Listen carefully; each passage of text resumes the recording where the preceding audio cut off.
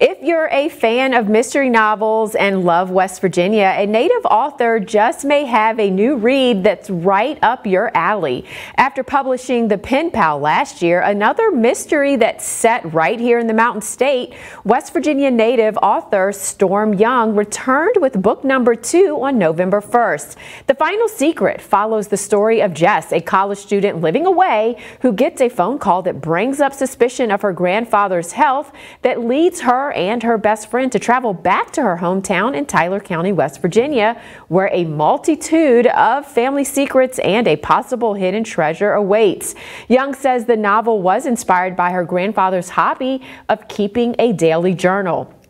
She says it's also the book to read if West Virginia is a dear place to your heart.